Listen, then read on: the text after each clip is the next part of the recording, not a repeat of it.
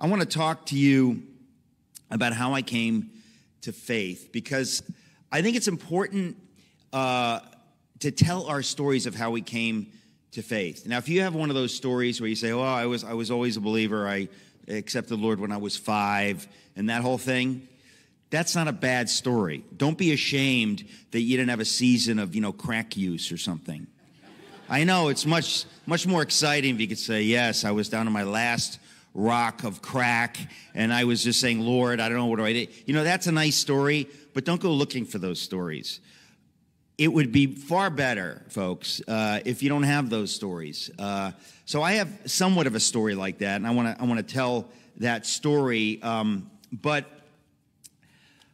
I think it's important for us to tell our stories of how we came to faith because it's invigorating to see the greatest miracle the Lord does. We, you hear this over and over, but it's true, is to change a life. And again, some of us, we get saved, our lives don't change that much, whatever, but there are many stories where people's lives change dramatically. And you can't make that up. It's the work of the Holy Spirit. And why the Lord does it in some lives and not others, whatever. Hey, we, we don't have all the answers. And if, if, you, if you want to crab at God, like, what about this? What about this? What about this? You know, he'll be like, what about everything? What about life? What about the, the blessings I've given you? So we always have questions. Uh, but I just want to say up front that we it's important for us to tell our stories of coming to faith so people realize it's not something you're born into. Because you, you can't be born into the faith. Even if it seems that way, it's still not that way. Uh, the Holy Spirit comes in and he wasn't in. But at some point, he comes in. And that's a holy moment. And sometimes you can point to that moment, sometimes you can't. Don't get hung up on that junk, folks. Just focus on the basics. God is alive and He is life, and He wants to come into us who are dead. Think about that. You're not sick and in need of a touch, you're dead. And only if you're dead can the resurrection life of the Lord do anything for you. Because the resurrection life of the Lord doesn't need to come into someone who's already alive or thinks they're alive. You need to know you're dead, to be dead in to be dead to self so that the life of the Lord can come in. But my story now, the, uh, I wrote a book, it came out a couple of months ago called Fish Out of Water. Uh, how do you pronounce water here? Water? Water? However you pronounce it. Um, fish, fish out of water. And uh, the reason I call it fish out of water uh, is actually complicated. Uh, I'll tell you that as I tell you the story. But the bottom line is that the story of Fish Out of Water is the story of my life until around my 25th birthday, and when the Lord dramatically came into my life. And in my case, it was it was dramatic um, and totally miraculous. And again, that doesn't happen to everybody, but it happened to me, and it's true. So I'm going to tell you the story. But it really happened. So this was 1988. I had just moved away from Boston. I was here for a couple of years out of out of college, and I moved back in with my parents. And the Lord spoke to me in a dream, and it was one of those life changing, earth shaking moments that it's like I went to sleep single and I woke up married, changed. If that happens in real life, you could probably get out of it legally. But I'm just telling you, in my case, there was no way out. It happened. So, but in order for that dream to make sense to you, I got to tell you the story up to that point. So that's why in the book Fish Out of Water, I kind of tell the story of my life so that by the ending of it, when I get to the Jesus dream, you're like, oh, I get it. Because otherwise it would be non sequitur because uh, he didn't live my life. So I, I want to tell you that story. And uh, now the title Fish Out of Water really stems from the fact that at the end of the story, Jesus is the fish out of water. Uh, he reveals himself in this dream, which will make sense to you in a few minutes. But through my life, I always felt like a fish out of water. And that's kind of the story. And I think it applies to all of us that if you're honest, you know you don't belong here. You're a fish out of water. You, you don't fit in. If you fit in, hang on because eventually you won't fit in none of us really fits in here, right? We always want to, you know, go to a bar where everybody knows our name and uh, really fit in, but that's a sitcom. And it doesn't really, it, it, it, it doesn't work that way. We are strangers here. We're passing through. That's the human condition. And some people can admit it, some people can see it, some people can't. Um, but I felt in my life I was always trying to fit in and never quite fitting in. So my the, the reason for that uh, is that my I, the, the book starts. Oh, I should say this up front.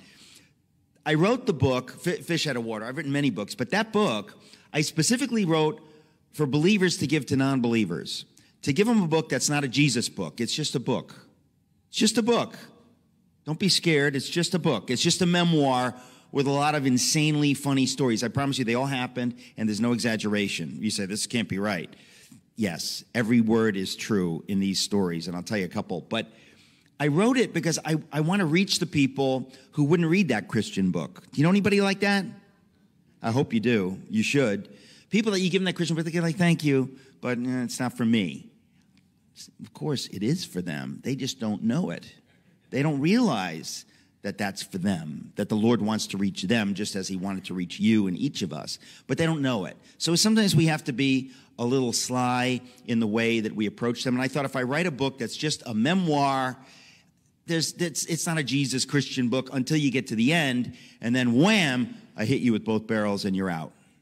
And uh, but that's kind of like when you tell a joke, right? You, you don't you don't reveal the punchline you, you want to bless the person at the end by hiding the punchline, right? Isn't that, isn't that kind of the way it is? Or if you're boxing, you don't want to telegraph your punch. That's different, though. That kind of redounds to your benefit. But the point is, you don't want to give it away.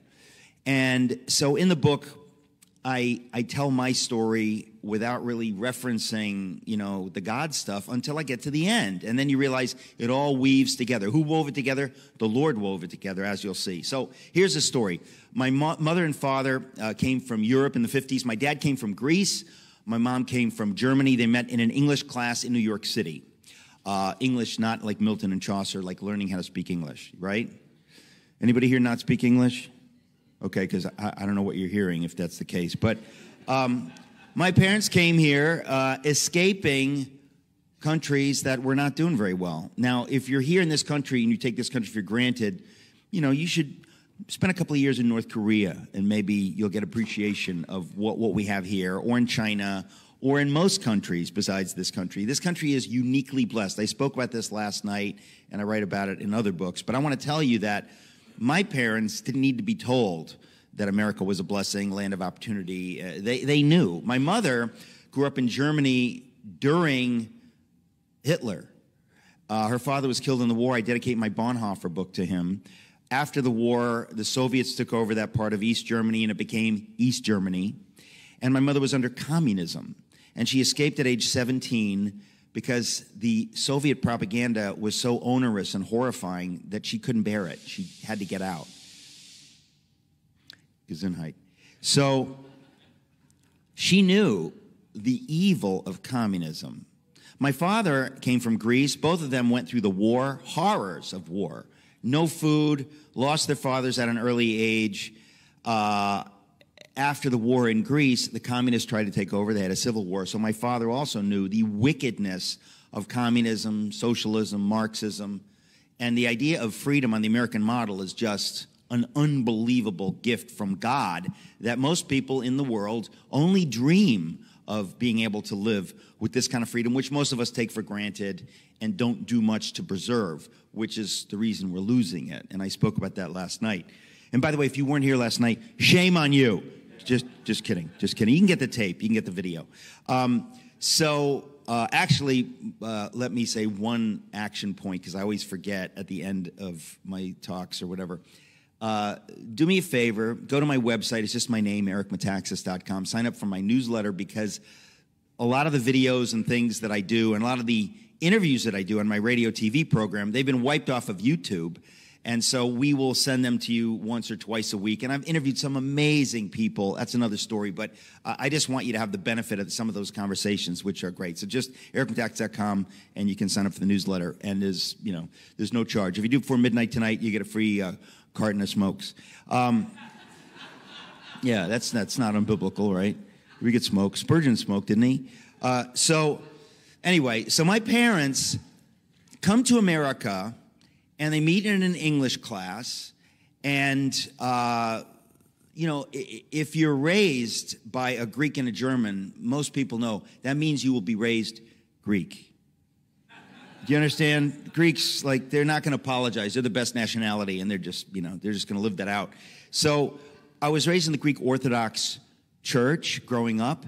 But the Greek Orthodox Church, for many people, any kind of ethnic Christianity tends to be less Christianity and more like an ethnic group, right? So it was a wonderful, warm community. I'm not going to pretend that it was some uh, unpleasant situation, but they kind of assume that, hey, we're not Turks, we're Greeks. The Turks are Muslims, we're Greeks, we're Christians. Done. Uh, well, if you're in America, it's not that simple anymore, right? Once you leave that church, most people out there who knows what they believe, especially in a secular environment like the Massachusetts or Connecticut or New York.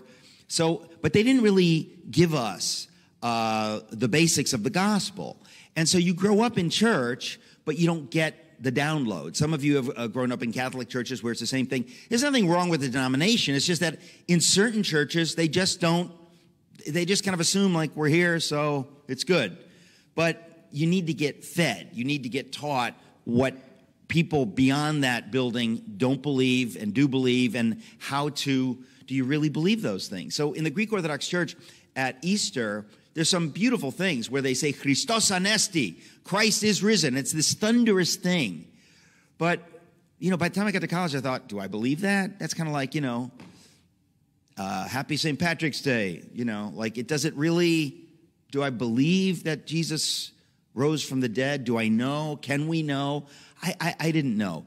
And so by the time I got to college, I wasn't so sure about these things. But before I get to that, I just want to talk to you about how I was a fish out of water. So you can imagine if your mother's German, your father's Greek, and you're hanging out with all the Greeks in the Greek church, you're not going to feel that Greek. You're not going to feel Greek enough.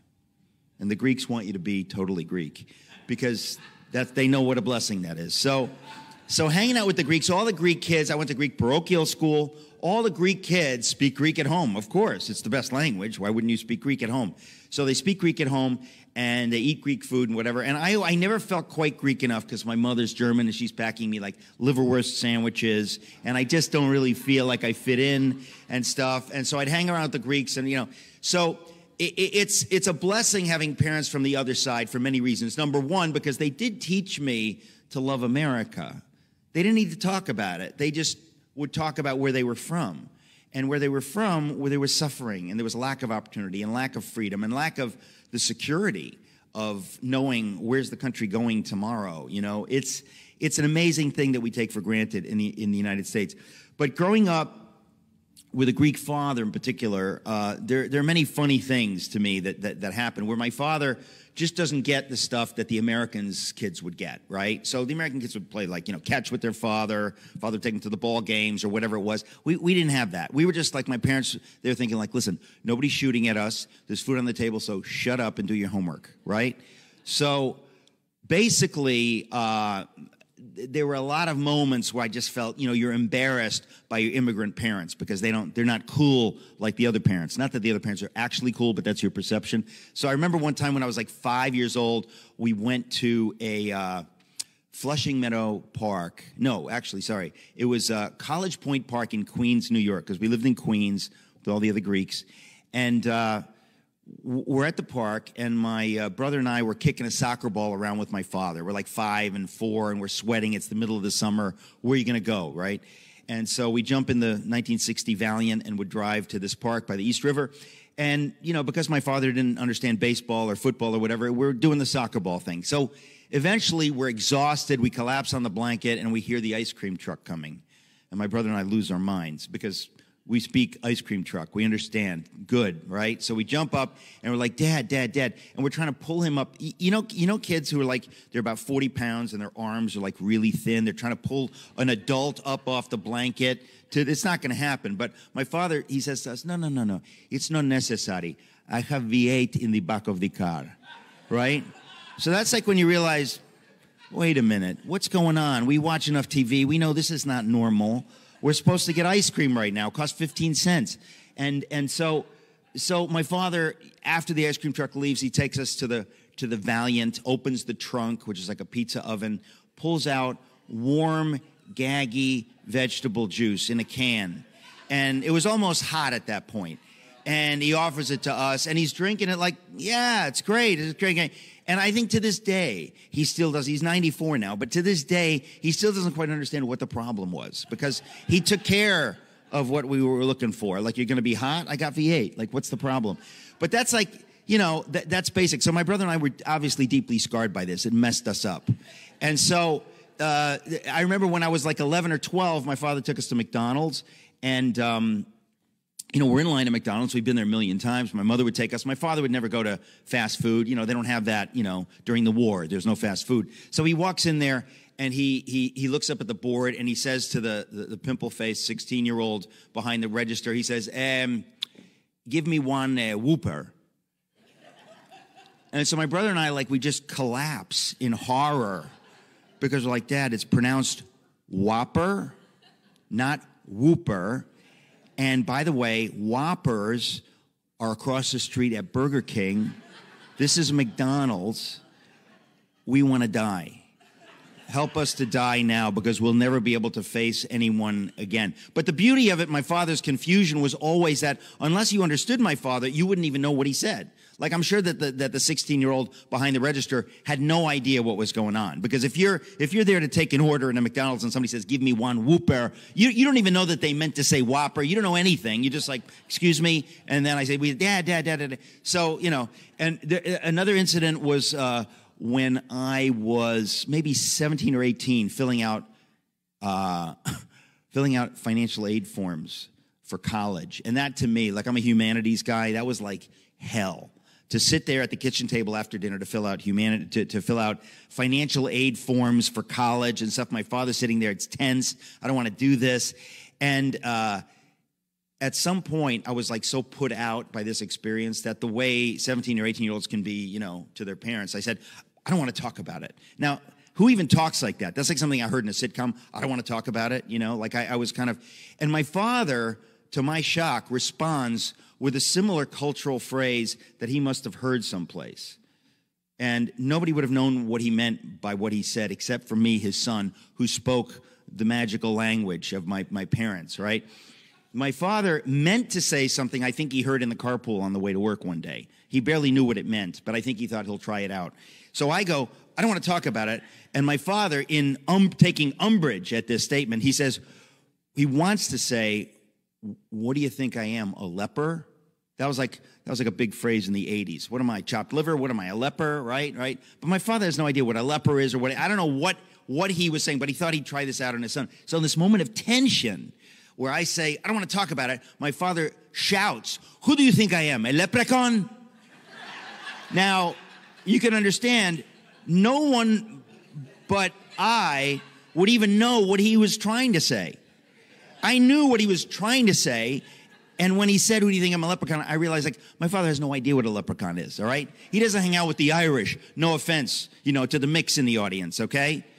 He, he, he doesn't know what a leprechaun is. Today, today, he still doesn't know what a leprechaun is. So he just explodes at me in anger. Who do you think I'm? A leprechaun? And I was like, I just blurted out. I said to myself, you know what?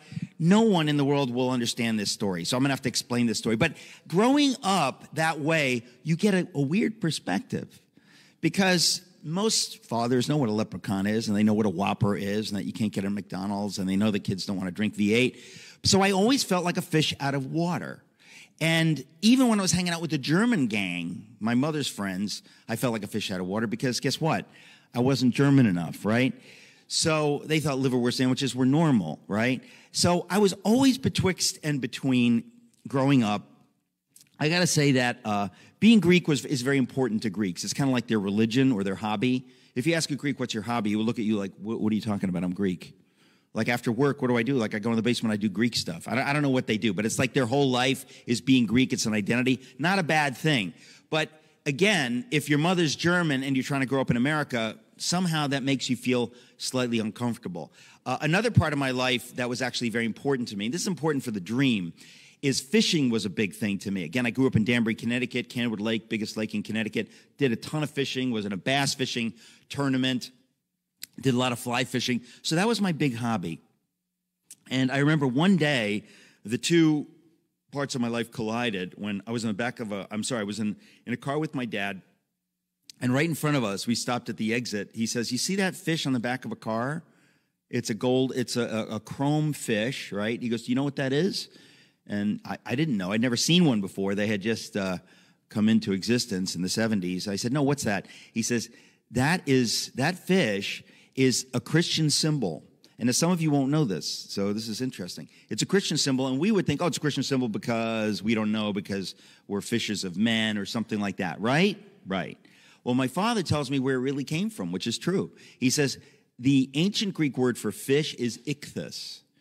Ichthus, the letters that spell ichthus, are an acronym. The early Christians who didn't use the sign of the cross quite yet, they would use the symbol of the fish because to them, ichthus was Isus Christos Theos imon sotir. Jesus Christ, the Son of God, our Savior. So the symbol of the fish to the early Christians was Jesus Christ, the Son of God, our Savior. That's what that meant. They all knew what it meant. So my father was thrilled to communicate this to me, probably mostly because he wanted me to know Greek words. I think the Christian thing kind of figured into it, but he was very excited. So I always understood that, and I thought most people don't really know that, and certainly most young people like me had no idea that the fish symbol is Jesus Christ, the Son of God, our Savior, and it's a Greek word. So that was a that was an important thing uh, for me. But fishing was a big uh, was a big thing for me. But then I left Danbury, Connecticut, and I went to Yale University. Now, some of you may know Yale University is just ever so slightly secular. Did you know that? Yeah. And you know, to be perfectly honest, it was founded by ministers of the gospel, amazing men of God. They, they've only kind of gone off, you know, the ledge uh, theologically, like only for the last roughly 200 years, right? So, you know, you got to give them a break. Anybody can have a bad two centuries, you know, you, you, we're not, we're not going to hold it against them. But they are, by the time I got there, the naive kid raised in a working class immigrant household, I had no clue what I was stepping into. You understand? I just thought, hey, the motto is Lux et Veritas, light and truth. And I'm going to learn about truth and, and, and everything. I'm excited. I don't know that I'm walking into a culturally Marxist lion's den, but I was. And I'd not been prepared in the Greek church, as many people are not prepared in various churches. They just stumble into this environment that is utterly anti Christian and anti American because all of that culturally elite thinking was already there when I got there in the 80s.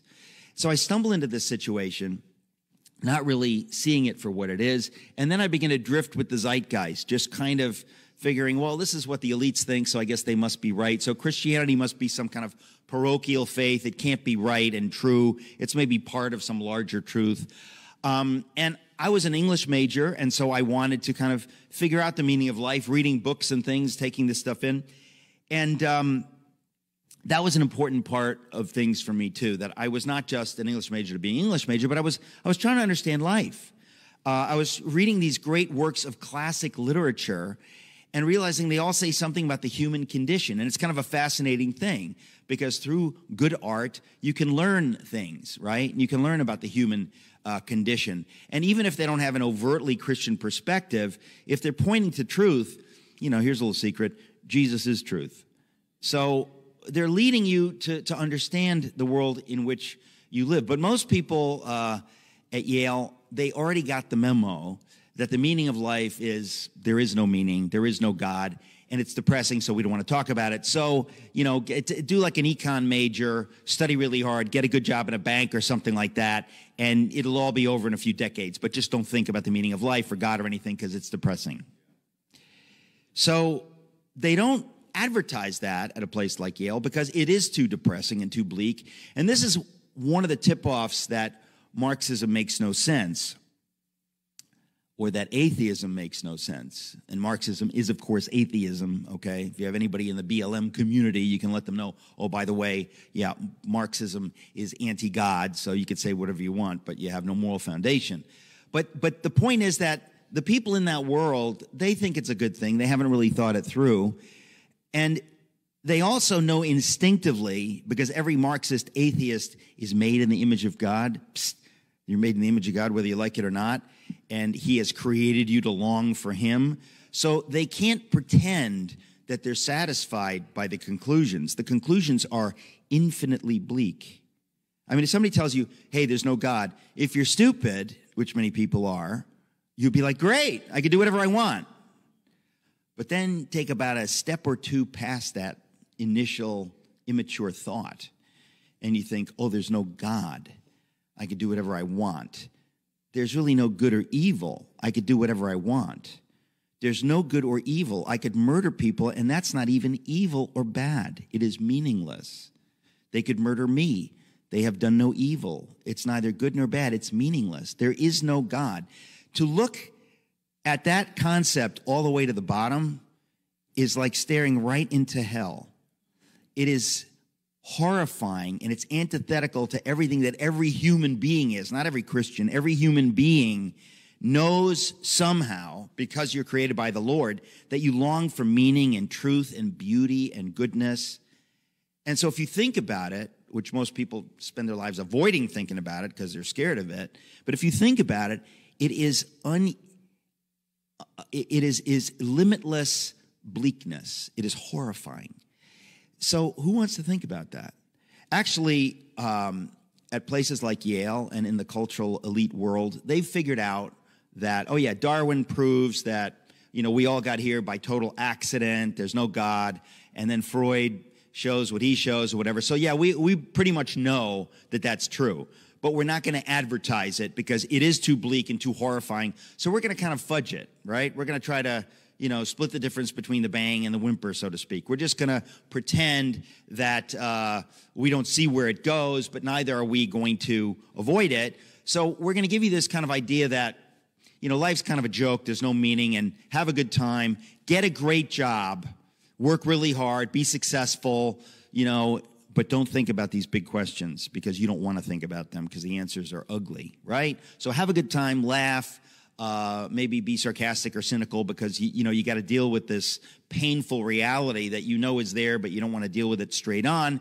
And but the key is to get a good job and to focus on that and to focus on success and having a good time. And you know, on the weekends there's alcohol and sports, and you'll focus on that. And in a few decades it'll all be over. But just don't think about these big questions. Well, uh, that's what a lot of people do, isn't it? But the problem is I did not get a good job. I was an English major. I wanted to be a writer. I graduated. I did not get a good job. I had a lot of time to think about these questions. That's bad. You don't want to think about these questions. So I floundered and I drifted. Uh, I floated up to Boston for some time trying to be a writer, just lost. I was not some big sinner. I was just lost. Is there a God? I don't know. I'd like to know, but I don't think you can know. I had kind of taken in this worldview. And uh, if you graduate from college and y- you don't have a good job, you don't have a direction, uh, even if it's a bad direction, and you start floundering and floating and drifting, you know what's going to happen. I'm going to tell you exactly what's going to happen. It's inevitable. You will move back in with your parents. There's no way around. That's like a like a theorem. It, there's no way around that. That will happen. That will happen. So now you don't want to do that if your parents are working class European immigrants who didn't get to go to college and who work menial jobs so you could go to Yale. You really don't want to move back in with those people at that point. But I mean, it was a theorem. I had no choice. I moved back in with my parents. So I leave Boston. I go back to Danbury, and my parents are like, "Why are you here again? Like, didn't we like work hard jobs and work on the weekends so that you could go to Yale University. Like it's a pretty good school, right? Because we paid more money than we have. So why are you here? Well, uh, it was no fun. Now, now my friends' parents who were, you know, sophisticated people, they'd be like, "Oh, Eric's finding himself." You know, he wants to be right. He's finding himself. But my parents were like, "Eric should find himself a job." We don't understand this. Like, we don't really get what's going on here. So it was a horrible year for me. Horrible. And sometimes the Lord will maneuver you into a horrible situation to bless you. I don't know if you've ever been maneuvered into a horrible situation where you look back and you go like, "Thank the Lord for that miserable experience because that led me to Jesus." Well, at the time, it's no fun. But I was uh, living with my parents. I got a job as a proofreader at Union Carbide Corporation in Danbury, Connecticut. Some of you familiar with the Hebrew word Gehenna? If you didn't get that joke, you're probably not saved, so you might want to. But I want to tell you, it was hellish. I was the editor of the humor magazine at Yale. I wrote poetry. I wanted to be a literary writer like John Cheever, who lived up in Braintree, and John Updike, who lived on the North Shore. You know, I want to I want to follow in their footsteps. It wasn't really looking too good for me, right? I'm back living with my parents. What can you do with an English degree? It only costs 40 billion dollars. What can you do with that degree? I can't do anything with that degree. I'm going to get a job as a proofreader at a chemical international conglomerate. And so I drive to this job every day. My, my little cubicle is a quarter of a mile from the nearest window. Have you ever been in a building like that where you want to blow your brains out? In a good way. Uh, pure hell for me, but what else could I do? Uh, I'm proofreading, and of course, I'm writing on the side. I'm going to be a big success, uh, you know, writing my short stories. But of course, I'm not writing short stories on the side. After a tiring day proofreading chemical manuals, I go home to have the joy of my parents glowering at me. Why are you here? Living in our house. This is weird. So it was, it was hellish. It was hellish. But in the middle of that hell, God, in His mercy, sent a man into my life. He was a graphic designer at Union Carbide who knew Jesus. I dedicate my miracles book to him. His name's Ed Tuttle. He starts sharing his faith with me. Now, I was smart enough to know that people who really believe in the Bible and all that stuff, they're crazy. They're, they're kind of insurrectionists who want to overthrow the government with guns and they need to be put in jail, preferably solitary, because they're that dangerous. Uh, they believe in truth and God and all that stuff. And we, we, the sophisticated people know they're trouble. And we're evolving beyond that kind of parochial medieval thinking. So I, I was in enough pain to want to talk to him a little bit, but I was also trained to avoid those people at the same time. So I had this kind of weird cat and mouse game. Over the months, he would share his faith with me, and I would pretend that I'm sort of on board because I wasn't really hostile entirely. I just, just didn't know what to think. But he'd invite me to church. I'd be like, no, no thanks. I don't want to go to that church. And uh, I don't want to hang out with no freaks like you guys. I'm sophisticated. How many freaks? Come on. So I just thought, no, I don't want to do that. So in the middle of this weird thing, I'm starting to be so miserable that every now and again I like throw up one of those weird prayers like, God, if you're there, give me a sign. Because I didn't even know if the Lord was there. So imagine how tough it is for people who don't even know, like they say, you know what you have, I'm glad you're happy, but I just don't even think, I think you're, you're just making that up. I don't think there's a God, but I wish he'd reveal himself to me if he were really there. I was like that. Once in a while, I throw up a prayer, thinking, I don't know if he's going to hear it, but, and it was just a painful time. Now, I got to say, the one thing before I had my dream is that while I was at Yale and after, I'm trying to come up with my own worldview, right? What's the meaning of life? If it's not that Christian thing, it's that maybe all religions are getting at the same thing. So, as only an undergraduate can do, and this is not a compliment to undergraduates, I came up with like, you know, hey, here's the meaning of life. All religions are trying to get the same thing. And I read, uh, you know, a little Freud and a little Jung, and they come up with this idea of, oh, there's the uh, the conscious mind, and then there's the unconscious mind. Uh, and Jung talks about the collective unconscious, which means the, the, the, unconscious of all of humanity. And that's kind of God. That's the guy. Now, if this sounds like gobbledygook, that's because it, actually it is gobbledygook. It's stupid. But if you're 20 years old, you don't know that. Sounds good. So I thought, okay, so maybe they're onto something. Maybe all religions are about, you know, kind of drilling through the conscious mind to get to that spiritual collective unconscious, which is kind of like a new age energy force God. And that, that's what they're all trying to get at. That's what all religions are trying to get at. Now, it's not like there's no truth to that, but it's basically ridiculous and wrong. But I kind of bought into it. I said, this sounds like a good idea. So that solves my religion problem, right? So here I am with this meaningless symbol system, lost. I'm at Union Carbide. I'm living with my parents. And as I said, every now and again, I'm I'm wondering about these things. I throw up that kind of a prayer. Now, Ed Tuttle, the man who led me to Jesus, one day, and this is the power of Scripture, one day he boldly gives me an index card on which he had written the scripture, Jeremiah 29, 11 to 13. Some of you know it, it's famous. I didn't know it at the time, I'd never read the Bible. And it says, For I, this is the Lord speaking, for I know the plans I have toward you, says the Lord. Lord speaking. I know the plans I have toward you. Plans not to harm you, but plans to give you hope in a future. And I remember reading this and thinking, huh, if God is speaking here and he's saying, I know that plans for you not to harm you, Eric, because I, wasn't that what I was afraid of? Isn't that what a lot of people are afraid of? That I'm going to become like those Jesus freaks. I'm going to become weird. I'm going to become like that person who is an embarrassment, always talking about Jesus, you know, on street corners. And, and I don't want to be like that person. And so I want to be sophisticated and accepted culturally. So I'm reading this and it says, I know the plans I have toward you, says the Lord, plans not to harm you, plans to give you hope and a future. Now, if you're sitting in that fluorescent cubicle quarter mile from the nearest window, the concept of hope in a future is a, is a pretty positive concept. That was really not on my horizon at that point. And I thought, wow, is this real? And how weird that God seems to understand that we might be afraid of him and that he would need to reassure us and say, no, no, you don't understand. I know the plans I have for you. Trust me, not to harm you, plans to bless you. And so this kind of worked on me a little bit a little bit because I didn't know, but it, it, started to work on me.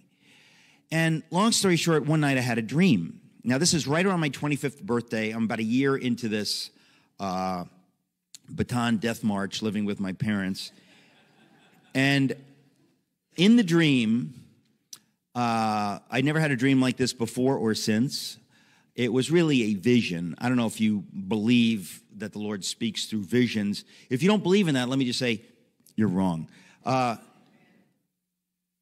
the Lord spoke to me in this vision in a dream. And in the dream, I'm standing. Actually, let me, let me tell you one thing, which I forgot to tell you. In my model of the Jungian, Freudian thing, whatever, I came up with an image that's, that sort of summed up what I thought was this idea of trying to find God. And I thought, the, the conscious mind is kind of like the ice on a frozen lake, and the unconscious mind is the water beneath. And the unconscious mind, the collective unconscious, is all that water beneath that connects all of us with some magical energy force, kind of a new, new age idea of God. And I thought, so maybe all religions are getting to is to drill through the ice to get to the water. That's kind of the goal somehow. And to have this kind of like psychic health, you know, soul health between the conscious mind and the unconscious, and that makes you an emotionally, spiritually healthy person. I, I get that. So that was kind of in my mind, right? Well, so one night I have this dream. In the dream, I'm standing on a frozen lake in Danbury, Connecticut, Candlewood Lake, biggest lake in Connecticut. And I'd been ice fishing there. And, and so I'm standing there, and it's a brilliant bright winter's day. You, you, have had them where the sky is so blue and, and, and the sun is so bright and the ice and the snow are brilliantly white and it's beautiful. And we're standing there ice fishing and I look down and there's a hole in the, in the surface of the ice. And I look into the hole and there's a fish poking its nose out of the hole, like, here I am. And I look down. Now, if you've ever ice fished, you know that does not happen.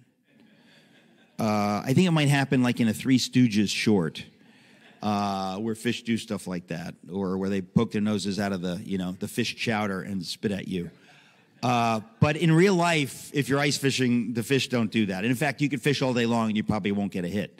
But in this dream, I'm standing there and I see the fish poking its nose out. And I look at it and I reach down and I pick it up by the gill because it's a pickerel or a pike, uh, large fish uh, bronze colored, some of you know. But in the dream, as I'm holding this up, the sun is so bright and beautiful that it's shining on this bronze colored fish and it makes it look golden. And then in the dream, I realize it doesn't look golden. It is golden. It's like in a fairy tale. It is a golden fish made of gold, but alive. And then suddenly in the dream, I realize the Lord just, boom, lets me have it. Eric, you wanted to drill through the ice, to touch inert water, to touch this energy force thing. I have something better for you.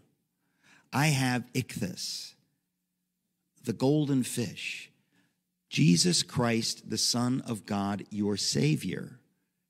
This is true. This is what you're looking for. This is the answer to your search. And in the dream, all of this stuff comes together and my mind is blown. I know the Lord has spoken to me and has one upped me in the language of my own symbol system. He has condescended to speak to me in a way that would make no sense to anybody, but that speaks directly to me, that blows my mind in the dream. And I realize the Lord has revealed himself. He knows me infinitely more than I know myself. He has just given me something that combines, you know, the Greek word, my fishing background, and this dopey undergraduate symbol system with the Freudian stuff, and says, boom, this is who you are. This is what you're looking for. In the dream, I knew this, and I'm holding the golden fish in the dream, and I'm flooded with joy. I know Jesus is real. I know that I have him. He has come from the other side to where we are. And what happens when a fish comes out of water? They come out of water and they die. He came from the other side to us to die so that we could go back with him to where we belong with him in eternity. All this comes to me in the dream, and I know the Lord is alive, the Lord is real, and he has given this to me to show me that he knows me and to show, show me that he loves me enough that he would speak to me in a way that is so specific that it would completely blow my mind and change my life forever. And I woke up the next day and I told my friend at the at the Union Car what happened, and he goes, "Well, what does that mean, Eric?" And I said something I never would have said ever. I said, "It means I have accepted Jesus, and my life changed utterly and dramatically from that moment forward." And the punchline, folks, for you is the Lord knows you exactly that way. He knows every one of us that way. And He wants you to know that He knows you like that. And He wants you to share that with anybody that doesn't know that. That the Lord knows you intimately. The Lord knows your fears. The Lord knows your sins. The Lord loves you. And the Lord wants to speak to you because you're His child. He knows exactly how to talk to you. And He wants to have that relationship with you and walk with you.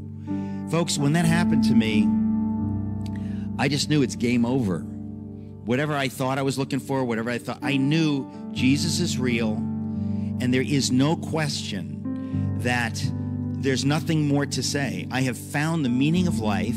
I was told life had no meaning. I was told you couldn't know there was a God. The Lord proved himself to me in that. He's proved himself to me a hundred times since then. But that was when it began. And I tell you that story just so you understand that's everybody's story. We're all looking for the Lord. He gave that to me for you and for your neighbors to say, I'm not selling anything you don't want. We all want this. We all long for this. There's not a soul on this planet who was not created by the Lord to long for that relationship with Him.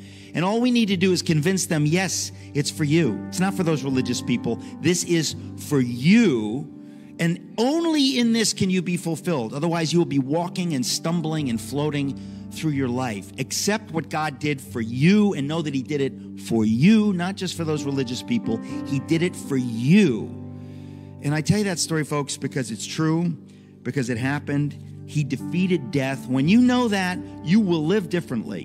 When you know that He defeated death, that He came from the other side to die so that He could defeat death so that you could be free and live an eternal life with Him forever. If you know that, don't hope it's true. Know that it's true because it is true. When you know that, you will live differently. You will live without fear. You will be brave. You will push back when people challenge you because you have been freed by the one who is freedom and who is truth.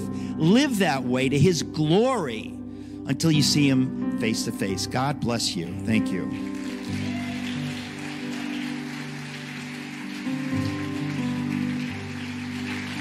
Amen. And this This is a perfect opportunity if you've come here to Sacred Heart or if you're online um, and you understand now that the IXYE, IXOYE is Jesus Christ, God's Son, Savior, the ichthys, the fish. Jesus came to save sinners. That's the whole reason that he became a fish out of water, so that he could come to us from heaven to earth